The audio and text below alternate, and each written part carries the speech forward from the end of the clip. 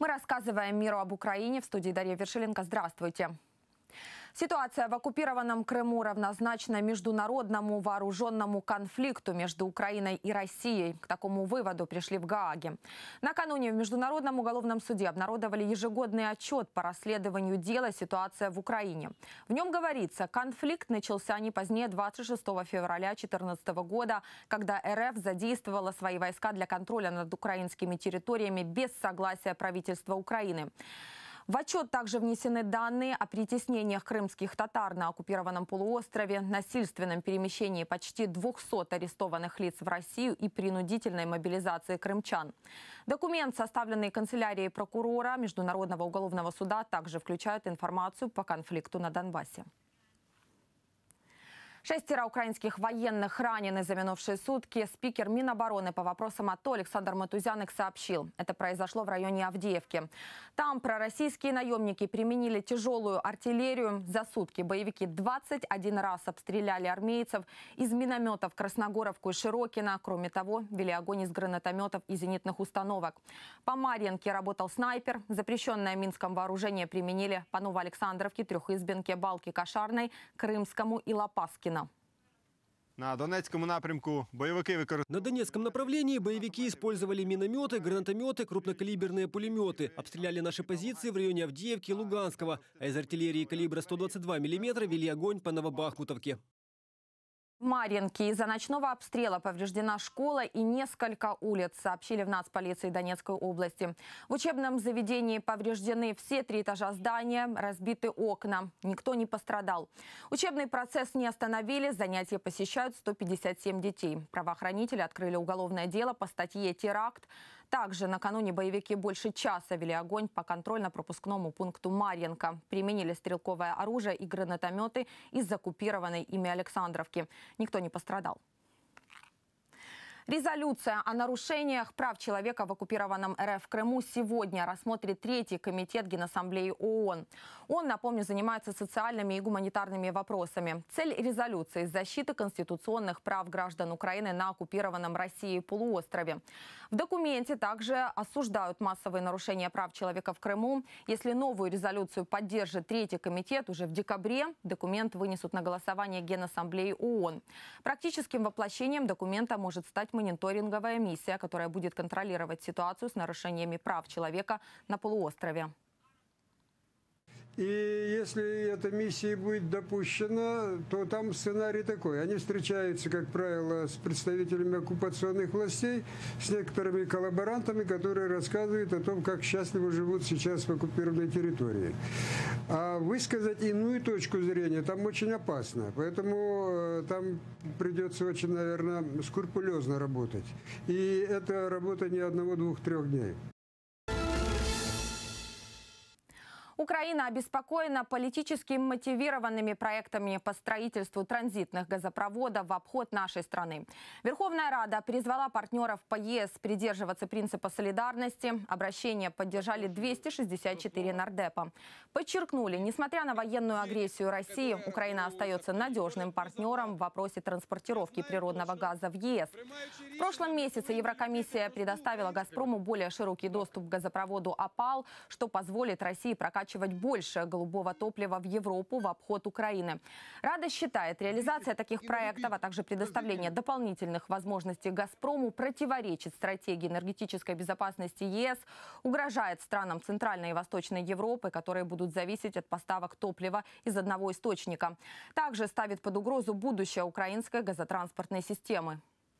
Ми сьогодні хотіли б звернути Мы сегодня хотели бы обратиться к нашим коллегам, к представителям органов исполнительной власти государств Европейского Союза по поводу усиления сотрудничества в сфере энергетической безопасности и потенциальных рисков строительства газопроводов в обход Украины. Мы как надежный партнер приняли ряд важных законопроектов. Закон о рынке природного газа, о национальной комиссии, которая занимается государственными регулированиями в сфере энергетики и коммунальных услуг. Нещодавнє рішення Європейської комісії Недавнее решение Европейской комиссии говорит о том, что они забывают свои обязательства касательно энергетической безопасности Евросоюза и партнеров. Один из них – Украина, а вместо этого дают широкий доступ к газотранспортной системе «Опал» российской компании «Газпром», тем самым подрывая энергетическую безопасность ЕС и Украины.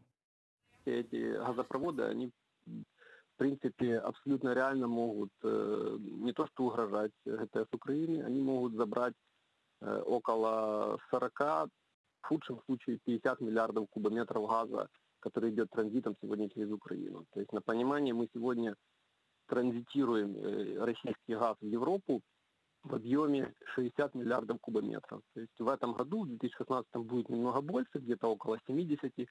Это произойдет за счет э, ремонтных работ, которые проводились на Северном потоке, на белорусском э, Белтрансгазе, то есть это газопровод Ямал-Европа. Э, Только учитывая этот фактор, Украине удалось увеличить загрузку своей ГТС. А так, э, в принципе, перспектива очень грустная на самом деле, потому что вот из реальных 60 миллиардов кубометров газа мы можем потерять практически до 50 миллиардов кубометров. Это будет означать одно, что э, ну, мы набли- э, приблизимся к так называемому ну- нулевому варианту, то есть когда газ, который идет э, из России, он э, ну, будет где-то возможность поставлять в Украину где-то вот около 10, ну максимум 20 миллиардов кубометров. Он больше будет расходоваться на, внутри, на внутренние потребности Украины, Больше сотни населенных пунктов из-за непогоды остались без света в пяти областях – Хмельницкой, Тернопольской, Ивано-Франковской, Черновицкой, Львовской. В госслужбе по чрезвычайным ситуациям сообщили, за минувшие сутки спасатели освободили из снежного плена почти 3000 автомобилей. Для ликвидации последствий стихии задействовали 5000 работников от разных служб и больше 2000 единиц техники. Работы по расчистке дорог местного и государственного значения продолжаются. Нашему телеканалу в пресс-службе Международного аэропорта Борисполь рассказали, аэроузел работает в нормальном режиме. Сегодня все самолеты вылетят вовремя, ни одного рейса не отменяли. Также отправляются по графику поезда. Отставание некоторых не превышают получаса.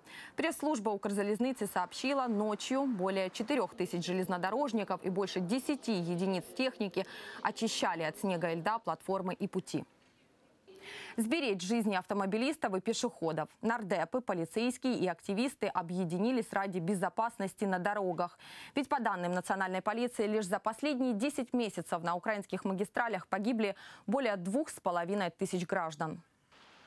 Более двух с половиной тысяч погибших и более 16 с половиной тысяч травмированных. Это статистика аварий на дорогах страны лишь за 10 месяцев этого года. Кількість людей, які гинуть на дорогах. Количество людей, которые гибнут на дорогах, больше, чем людей, которые гибнут на войне.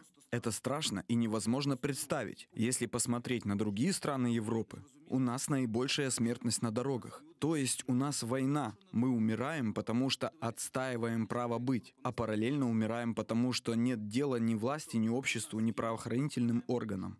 По данным Всемирной организации здравоохранения, основными причинами аварий являются алкоголь, отсутствие шлема мотоциклиста, детского кресла в машине, пренебрежение ремнем безопасности и превышение скорости. Дабы побороть смертность на трассах, нардепы, полицейские и активисты инициировали совместную кампанию «За безопасные дороги».